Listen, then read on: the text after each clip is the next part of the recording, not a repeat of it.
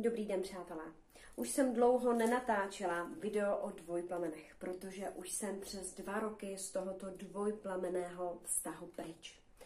Ale ráda bych se s vámi podělila, jak odejít z tohoto vztahu s Grácií a jak přitáhnout partnera, který bude odpovídat, pozor, vašemu nastavení. Protože říká se, že každý člověk, který, každý partner, který je ve vašem nebo po vašem boku, tak je v tu danou chvíli tím správným partnerem pro vás.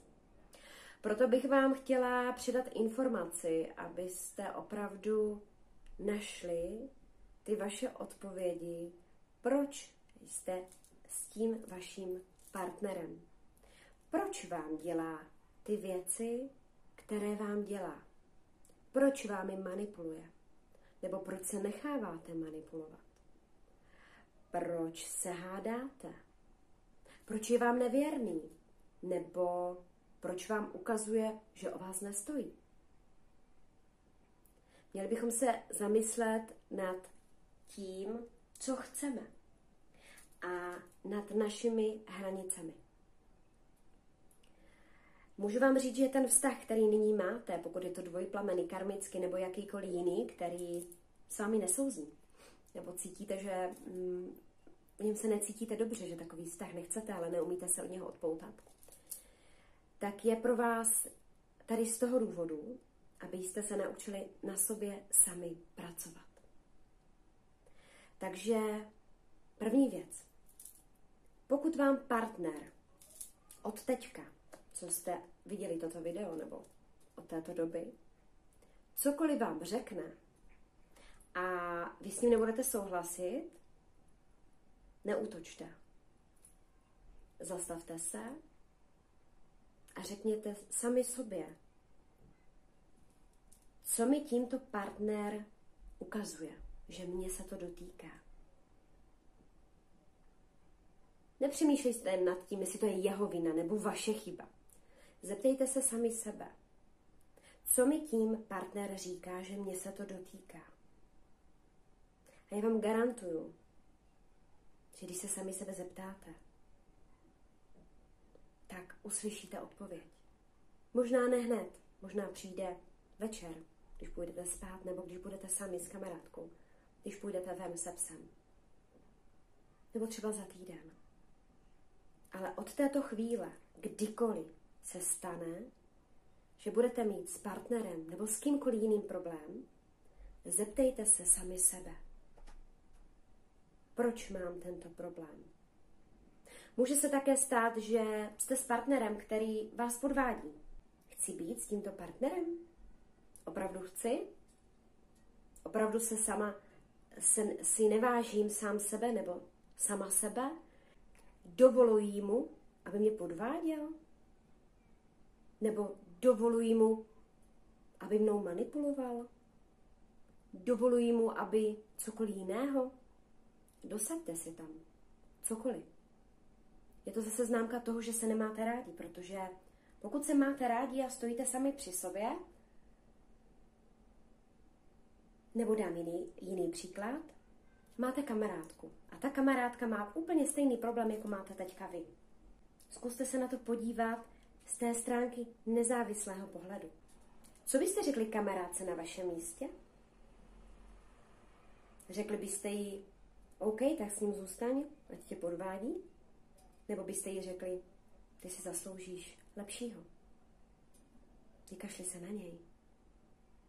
A tady jde právě o to naše nastavení, že ti daní partneři nám opravdu ukazují naše hranice, ukazují nám naše zranění z dětství, Protože to, co jsme prožili v dětství, to, co nám předávali naši milovaní rodiče, byť se k nám ne vždycky milovaně chovali, tak jsou pouze vzorce chování, které my jsme převzali za své. Určitě každý z vás mohl slýchat, že si to nezasloužíš, na to nesahej, to nedělej, na to nemáš, prosím tě, kolik jiných lidí tady je, no ty nic nedokážeš, no ty určitě budeš vydělávat miliony, jo, ty budeš bydlet na baráku, no to víš, jo, ty prosím tě, ty jsi tady takové hovno malé. Slyšeli jste to? Uvědomujete si, co nám ty naše rodiče, aniž by kolikrát chtěli řík, říkali? A nebo co kolikrát i my jako dospělí, byť vědomé bytosti, vypustíme našim dětem? Mně se teďka stalo včera zrovna. Přišla mi dcera z dopravního hřiště, kde se učili jezdit na kole a paní učitelka před celou třídou prohlásila, no Natálko, ty jsi tady nejhorší z celé třídy.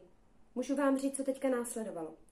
Jak odešla paní učitelka, děti se jí začaly smát, že je blbka, že nic neumí, že ani jezdit na kole neumí.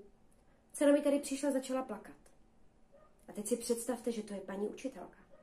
Teď si vemte spolužáci, že té malé dušičce řekli, že nestojí za nic, že je blbka, že stojí za hovno.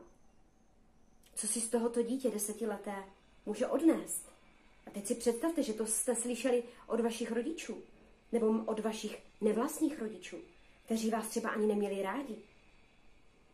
A veškeré tyto vzorce chování si odnášíme do dospělosti. Ale pozor, v té dospělosti my se můžeme postavit sami za sebe. My už se musíme postavit za to, že nejsme v roli té oběti. A řekneme si, OK, a dost. Ty se mnou nebudeš manipulovat. Já mám na to mít lepšího partnera, který mě bude milovat, který si mě bude hýčkat, který mě nebude podvádět, pro kterého já budu ta jediná, nebo já budu ten jediný. Takže je to vždycky o nastavování si těch hranic. O tom, že ano, máte partnera, ale sami víte, kolikrát jste se zamilovali. Ano, chviličku to bolí. Ale vy dáte lekci i tomu druhému partnerovi. Pokud je někdo alkoholik, nebo pokud někdo, nedej bože, bere drogy. Vy mu nastavujete to vaše vlastní zrcadlo, že, že ne. OK, chceš mě, je to na tobě, jestli se změníš nebo ne. Já nikoho nemůžu manipulovat, já nikomu nemůžu říct, že prosím tě, já jsem ta jediná a já chci být, aby si mi byl věrný. V první řadě to musí chtít ten partner. Ale pokud ten partner to nedělá je mi nevěrný, nebo mnou manipuluje, nebo dělá, ublížuje mi třeba, mě mlátí nebo mi nadává, tak v první řadě se nesmím nechat. Musím mu říct, OK, toto ale není moje realita. Já se miluji, já se mám rád a já věřím, že prostě si zasloužím lepšího partnera a lepšího člověka. A opravdu dát svobodu v první řadě sami sobě, sobě a dejte svobodu i tomu partnerovi. On se poučí. Třeba za vámi přijde, třeba se omluví, třeba mu to dojde. I když je to ten stejný člověk, stále se vyvíjíme a měníme. Někdo vašeho partnera může změnit. On potřebuje tu lekci a vy ji potřebujete taky. A teď, co se týká toho, jak najít ten nový vztah, jak najít sám sebe, začít se hýčkat. V první řadě dejte sami sebe na první místo. Neohlížejte se opravdu na někoho jiného. Pokud cítíte, že chcete partnera, který vám je věrný, který vám nemanipuluje, ale bude si vás hýčkat a milovat. Chcete mít krásný, harmonický vztah, tak v první řadě začněte hýčkat sami sebe. Ráno se zbuďte s úsměvem na rtu a představujte si, že máte toho partnera vedle sebe. Představujte si, že vám říká dobré ráno, miláčku, že vám donesl snídaní do postele. Normálně si to představte, komunikujte s ním, jak kdyby byl vedle vás. Prostě se s ním bavte, miláčku, co dneska budeme dělat. Dneska je krásný den, zajedeme si autem někde na výlet, nebo si půjdeme zaběhat, nebo si zajdeme na večeři. Uděláme si romantický večer, nebo se promilujeme celý večer. Prostě mluvte o tom a vnímejte, že ten partner už je vaší součástí. Vnímejte tu jeho energii. A ono se říká, že to, co hledáte, hledá také vás. A najdete, potkáte toho člověka. Mějte oči otevřené.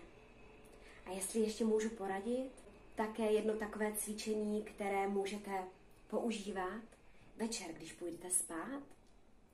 Zavřete si oči, tak tomu partnerovi říkejte, miláčku, čekám na tebe, já se jmenuji Teď řekněte své jméno. A bydlím. Řekněte, kde bydlíte. Řekněte mu, kam chodíte. Já chodím do lesa. Se psem. Chodím na procházky.